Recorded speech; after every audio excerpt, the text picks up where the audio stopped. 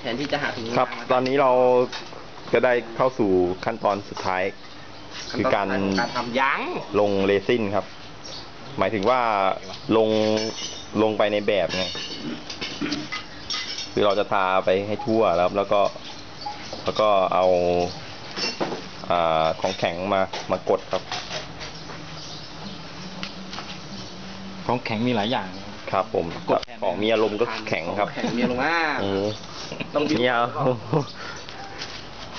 ก็วันนี้สมาชิกใส่บางเลยวะพี่เยอะมากครับ ผมมาจากกรุงเทพก็มีครับฮะอ่า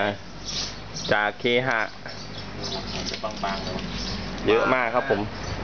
อันนี้มันใส่ต้องลงหนานี่มันไม่ใช่แค่ชั้นเดียวสองชั้นสามชั้นๆใช่ครับ แก้วบอกมันให้ใส่เสื้อใส่ เสื้อสีขาวตัดเวทีอะอายุประมาณสามสามสิบกว่าแปะเลยดีกว่าอ่าเนาะเอ้าวางเดี๋ยวผมเล่าฮะไม่รู้เหมือนกันที่ดีบอร์ดอะพี่เอาไว้ไหนอะชิ้นห้าชิ้น